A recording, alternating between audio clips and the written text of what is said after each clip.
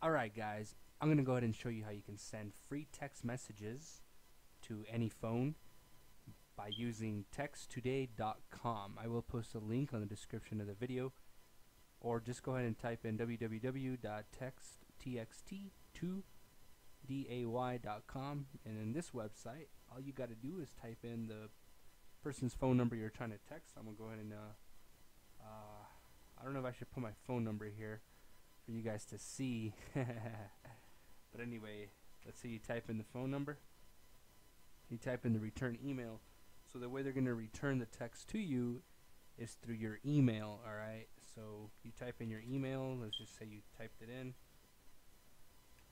And let's say it's at gmail.com. I'm sorry guys that I can't show you from here. It's because I don't want to, you know, put out my phone number there or my email. After you put that on, you select your provider, whatever it might be. I use Verizon, just choose whichever one it is. Type in your text message, and then click on send it. And when the way the other person will get it,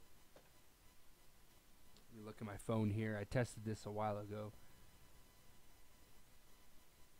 You will get the person will get the email. I mean the text message by first telling them what IP address it got sent from, and then the actual message itself, and then it'll say it's from txt2day.com.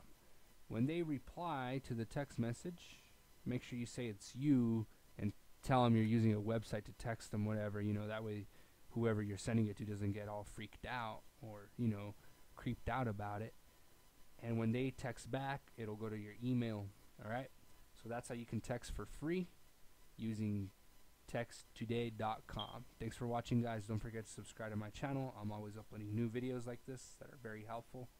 Thanks for watching again, and I'll see you in my next video.